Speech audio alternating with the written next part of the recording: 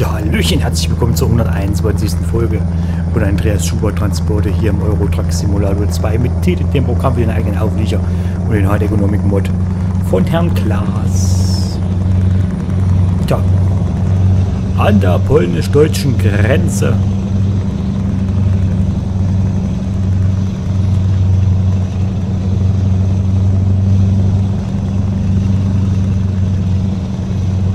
wir hier so einen Schlenker fahren? Nee, müssen wir nicht.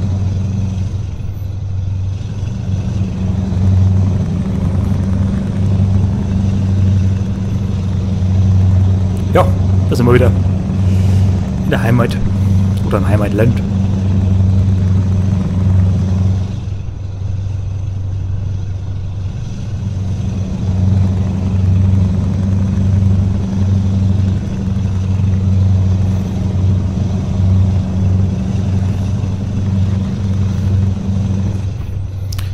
Geht es jetzt auf die A20.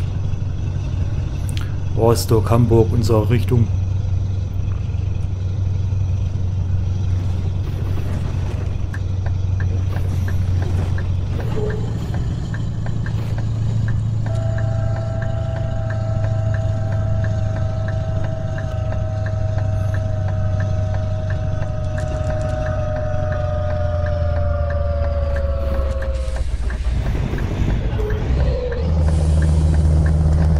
Reingefeuert hier, aber.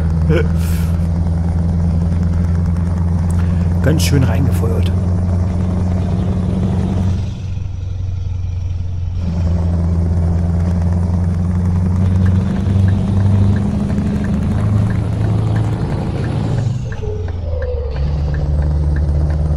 Ach, fahr doch auf die linke Spur, Junge. Alles frei.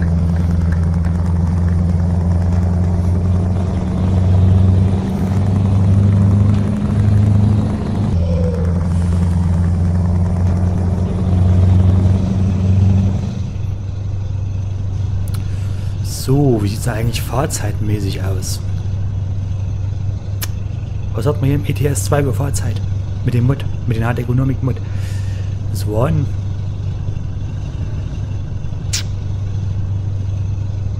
Ja, 13 Stunden, oder? 13 Stunden, wenn man nicht alles täuscht. Um 7 sind wir losgefahren. Also können wir bis ca. 20 Uhr fahren.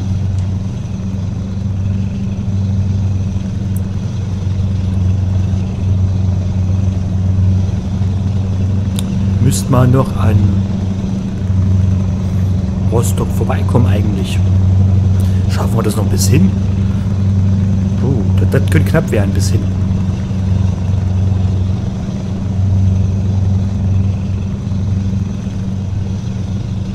Aber ist zu schaffen. Müsste, könnte zu schaffen sein, ja, tatsächlich. Also mal als kurze Zusammenfassung. Wir haben in Olsztyn Polen geladen.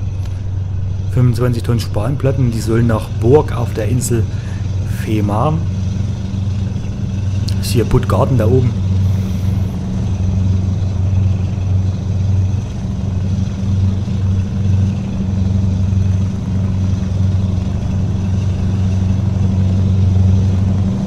Obwohl es sind ja nur noch vier Stunden, die wir jetzt fahren können. Ne? Hm, schwierig. Sehr schwierig. Lassen wir uns überraschen.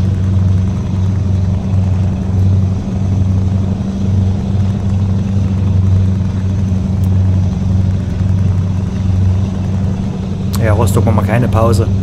Das liegt ja mehr oder weniger vor uns jetzt. Das ist zu früh.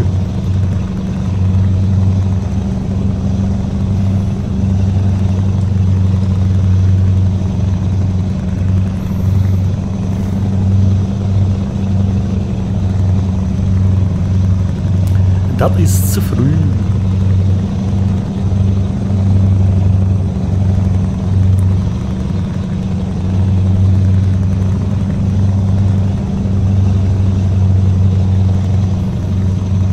So, ich muss dann aber ganz dringend in die Mods, auf diverse Mod-Seiten gucken.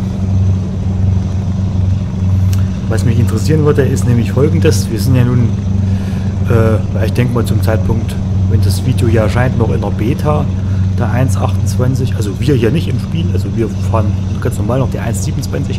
Aber die Beta gibt es schon für die 1.28, da gibt es Double Trailers. Und rein von der Logik her müsste es jetzt auch möglich sein, vernünftige Gliederzüge zu bauen. Weil wir haben ja mehrere Knickpunkte, mehrere Drehpunkte. Das sollte eigentlich, sollte eigentlich funktionieren.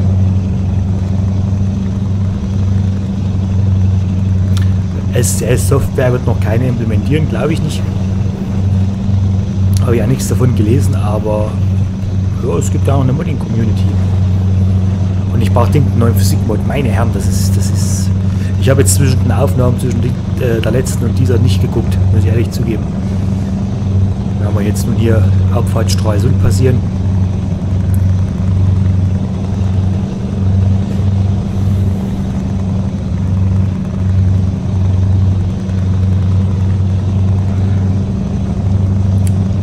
Das ist immer ein bisschen doof, wenn du während der Fahrt das Spiel beendest. Also wie, wie letzte Folge haben wir ja während der Fahrt abmoderiert. Hier während der Fahrt wieder anmoderiert und alles. Ne? Und wenn du aber zwischendurch das Spiel beendest, musst du quasi wieder komplett neu anfahren und stehst du auf dem Punkt, wo du zuletzt noch gefahren bist. Äh, deswegen habe ich das sein lassen. Kein Interesse gehabt.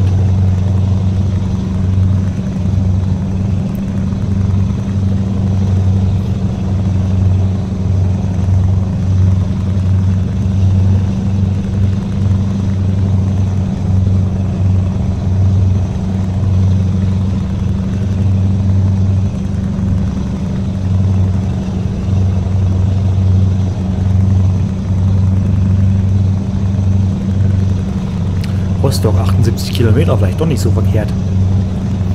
Na, dann machen wir hier jetzt, wenn wir jetzt Pause machen, hier ist noch sehr früh. Gucken wir ausnahmsweise auf das Tracking hier, was das sagt. Drei Stunden noch. 16, 17, 18, 19, 45.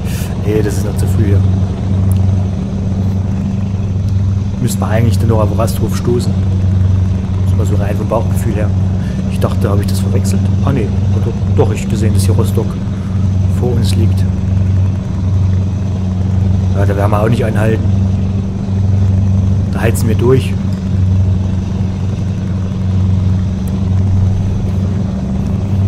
Hat das schon mal wirklich einer gesehen? Hier Polizeiautos äh, äh, auf Basis vom Passat CC.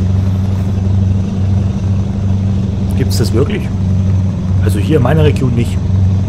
Ich habe es auch noch nirgends anders gesehen, aber ich kenne ja nur nicht jedes Polizeiauto in Deutschland.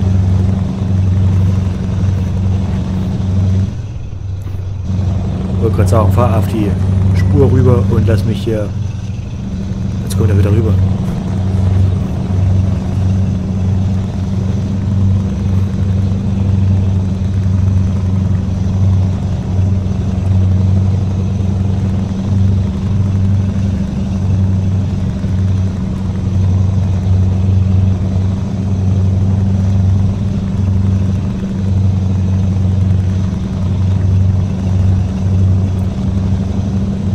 Heizen hier gerade durch hier.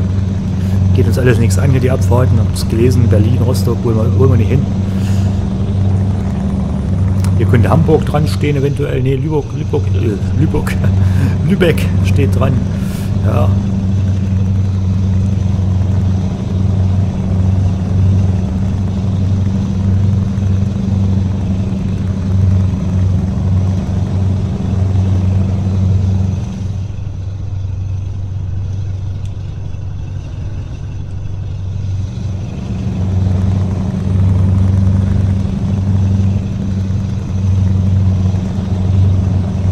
können wir mittig bleiben, habt ihr gelesen, ne?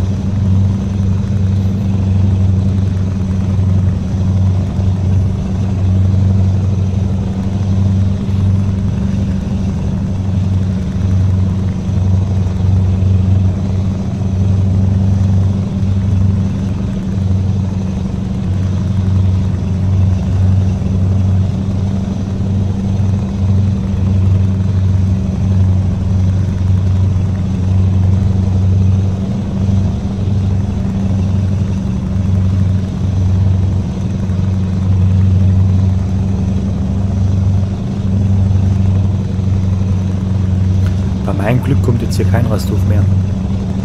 Doch, da vorne kommt was.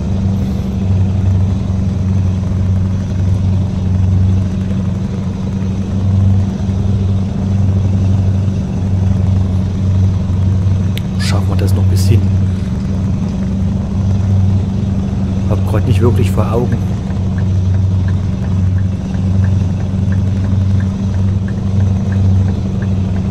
Wie weit das jetzt von Rostock noch bis da hoch war entzieht sich jetzt meiner Erkenntnis.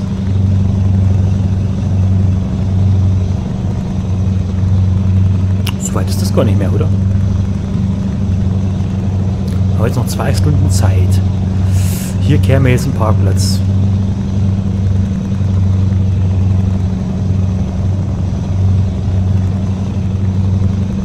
Ja, dann entscheide dich.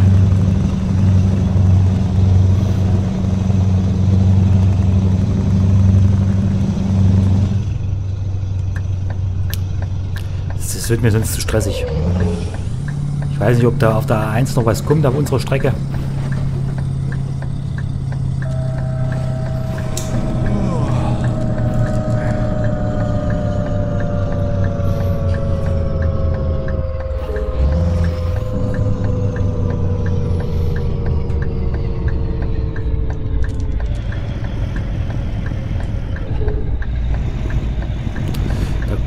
Nämlich hier noch in Ruhe tanken. Genau, das ist, das ist besser. Das ist besser.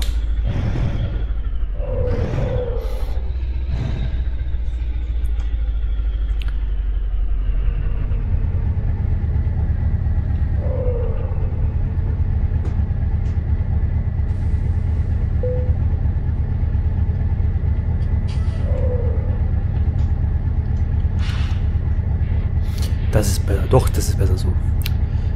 Das wird uns zu stressig. Weil selbst wenn wir es noch in zwei Stunden bis nach Burg geschafft hätten. Wir hätten ja noch äh, dann abladen müssen oder dort uns dann einen Parkplatz suchen müssen und inner, innerorts parken ist immer schwierig. Müsste manchmal nur so Werkstätten oder irgendwelche Dümpelparkplätze. Oh, nehmen wir Diesel, war. Wird vielleicht besser sein.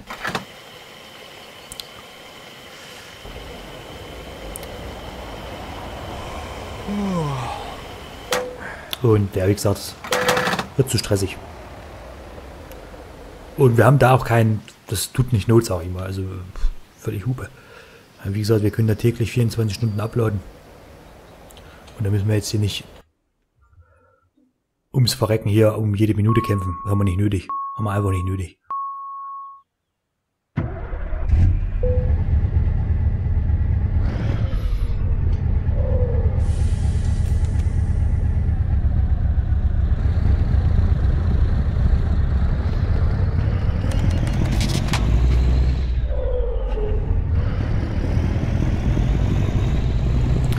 Stellen wir uns lieber hier schönen Rastplatz.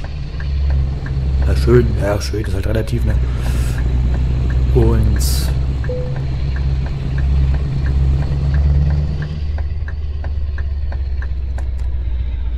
machen wir unser Päuschen. Trinken noch ein Bierchen, Feierabendsbierchen oder so.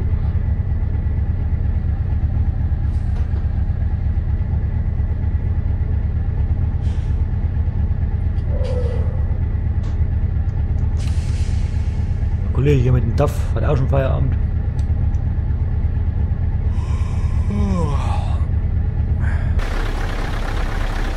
Dreißig, zwölf, dreiundzwanzig. Wisst ihr Bescheid? Zwölf, dreiundzwanzig ist immer die Stoffnummer, ja. Ist einmalig. Weltweit sogar. Das heißt, äh, wenn du die, könnt, könnt ihr auch googeln hier, du wisst ja genau, was es ist. Und ja, wisst ihr genau, was es ist. Genau. Gute Nacht. ah. Norddeutsches Regenwetter, würde ich jetzt mal sagen. Gut, na gut. Müssen wir mit leben. Und jetzt gucken, wie, wie spät es war. 5 Uhr morgens. Donnerwetter.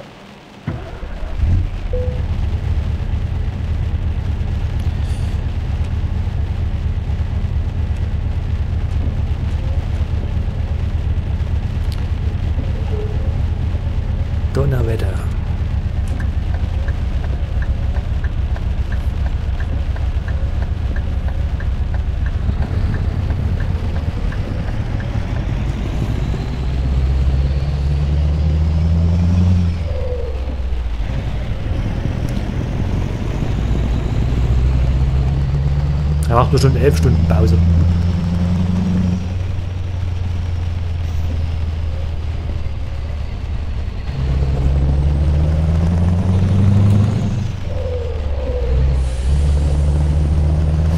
Wir haben ja einen neuen gemacht.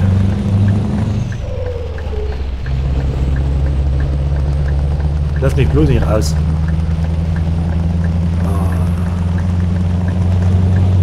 bist so dumm, bist du. Du bist so dumm.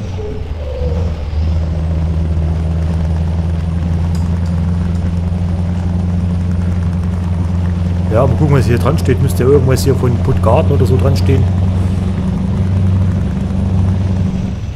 Oder Lübeck Süd.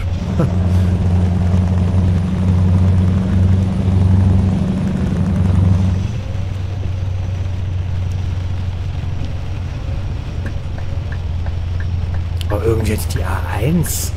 Führt uns jetzt die 207 auf die A1? Kann das sein?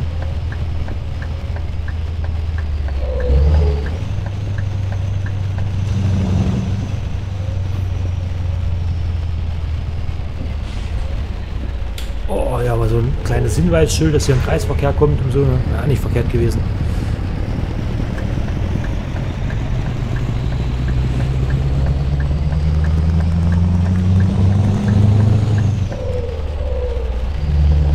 halt irgendwie in Erinnerung, dass wir nur A1 fahren müssen. Dass die uns da hochführt. Da habe ich mich da verguckt.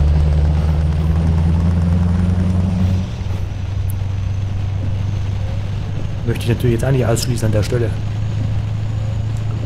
Euch eine kleine Fehlinformation gegeben habe in der letzten Folge.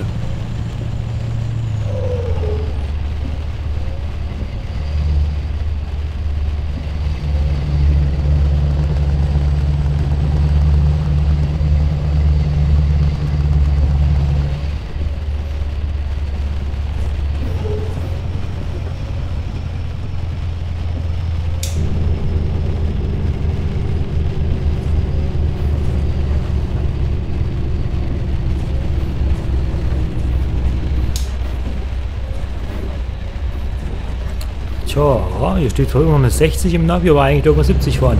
Weil ist ja innerorts.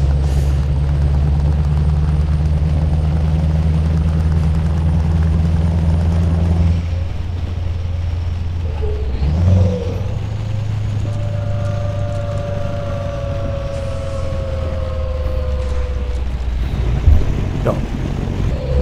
So wie zum Thema 70 fahren.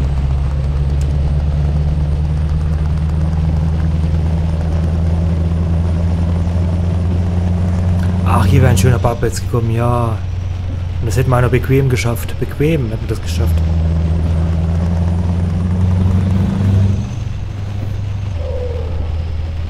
Kann man sich so schön an den Rand stellen. Bis ich noch zweite, dritte Folge oder so von der zweiten Staffel von Schubert Transporter haben wir hier beendet bzw. gestartet. Weiß ich noch.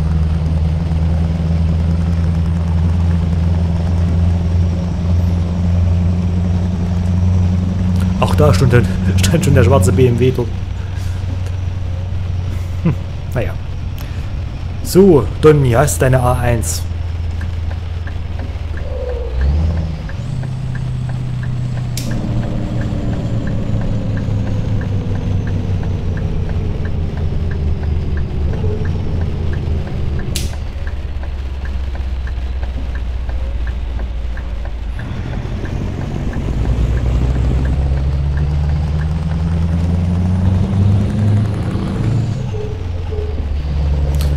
B207 nicht auf dem Schirm gehabt, dass die uns da quasi mit den beiden Autobahnen verbindet.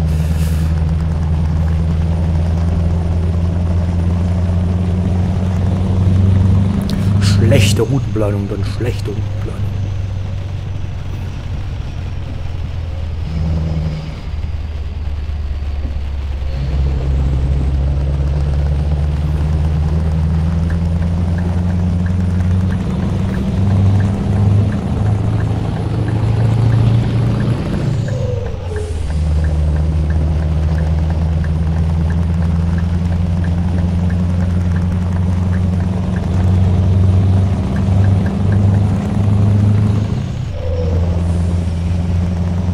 Ja, wer jetzt sagt, ach du, jetzt bist du auf dem Standstreifen gefahren. Äh, ja, bin ich.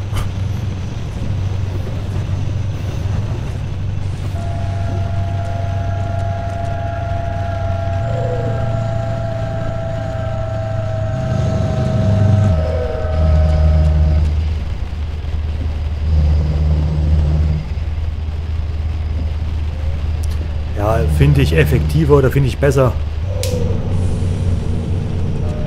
hier am Ende anzuhalten und aus dem Stand auf der Autobahn zu fahren. Weiß nicht, wie ihr das seht, aber das ist meine Meinung zu der Thematik. Bin ich glaube ich auch nicht der einzige LKW-Fahrer, also jetzt mal auf die Realität bezogen. Oder ich war nicht der einzige LKW-Fahrer, der das so praktiziert hat, ganz im Gegenteil. Natürlich mit Vorsicht zu genießen, ne? Und eben auch wirklich gucken, dass man erstens überhaupt einen Pannenstreifen hat und zweitens, dass der nicht gerade besetzt ist durch Pannenfahrzeuge oder so. Ja, ist völlig klar.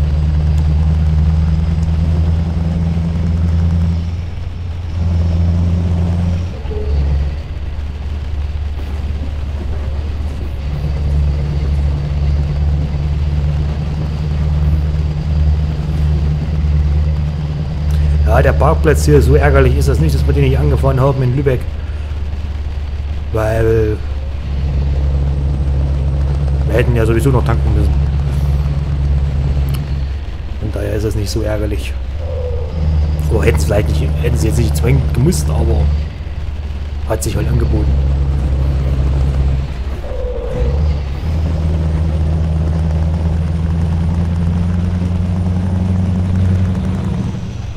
So, ah, hier müssen wir jetzt links abbiegen. Okay, okay, okay.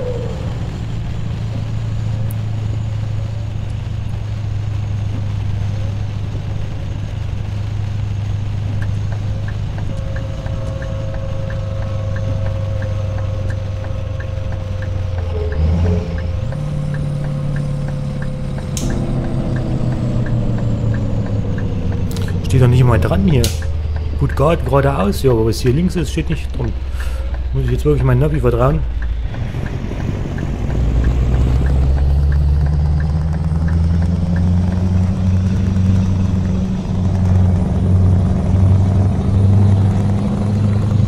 Oh, sieht so in einer spitzen Kurve aus. Da hinten wäre eine Tankstelle mit Parkplatzmöglichkeit gewesen, nur mal so ums in Kenntnis zu nehmen.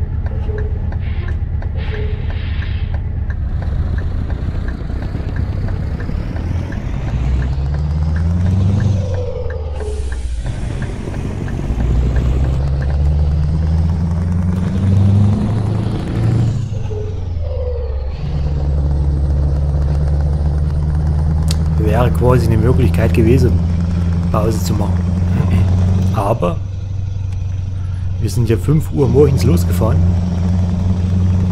Jetzt ist es 37, das heißt, wir hätten eine halbe Stunde überzogen.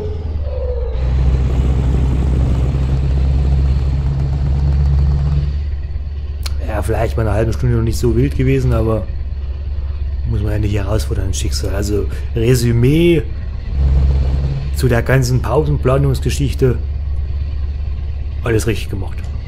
Alles richtig gemacht. So. EA Crest heißt die Bude. Wo wir hin müssen.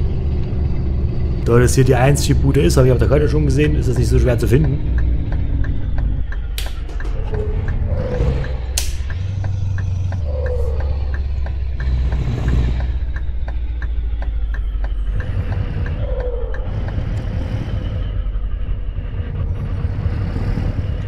Ein Bauernhof.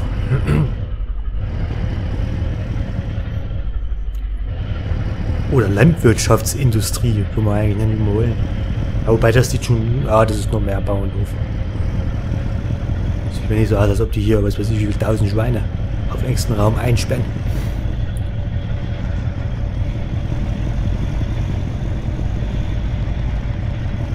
So ist unser Tor hier, okay, Tor 2, standen Leute Papieren. Das wäre noch geil. Das wäre noch richtig geil, wenn dieses virtuelle Gedöns jetzt durch sowas ersetzt wird. Dass du hier quasi, na ähnlich wie hier, nur halt nicht mit so einem, also wie hier vorne, gell? Nur halt nicht mit so einem virtuellen Bäm, sondern dass da wirklich irgendwo ein Fötnerhäuschen ist, an das du ranfahren musst. Und da wird dir dann einfach nur gesagt, okay, äh, würde sich Rampe 3. Ja? Und dann wird das quasi alles ohne diese virtuellen Hilferlein praktiziert. Das wäre so das nächste, was sie mal in Angriff nehmen könnten. Das SCS-Team. Ich weiß, es gibt Mods, da werden diese virtuellen Sachen hier ersetzt. Aber das ist dann Ja, wenn das nun nicht da ist, ist das immer schlecht, weil der Simulator baut ja darauf auf, dass die Dinger da sind. Deswegen ist es schwierig. Ein bisschen Schwung nehmen hier, sonst kommen wir bestimmt der Kante nicht hoch. Genau.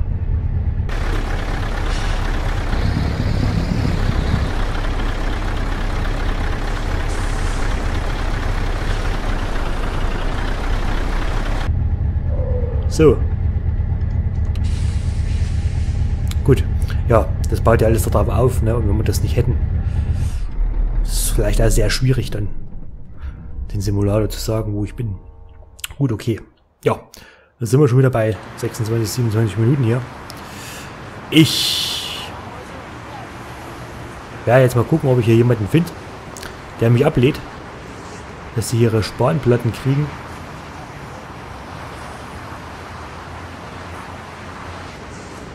Stehe ich da überhaupt richtig? Muss ich bestimmt nochmal umparken. Muss ich wollen die bestimmt von der Seite abladen. Aber bin ich wieder nicht nachgedacht hier. Äh, okay. Ja, wie dem mal sei, ich gucke mal, ob ich was finde. Und nächste Folge würde ich sagen, melde ich mich wieder mit entweder einer Leerfahrt oder schon mit einer neuen Ladung. Mal gucken. Äh, Wenn es euch bisher gefallen hat, könnt ihr mir gerne Däumchen nach oben da lassen. Abonniert, kommentiert, was das Zeug hält. Und ja, ich hoffe, wir sehen uns in der nächsten Folge wieder. Bis dahin, fahrt schon rechts. Grüß die Leute. Macht's gut. Ciao.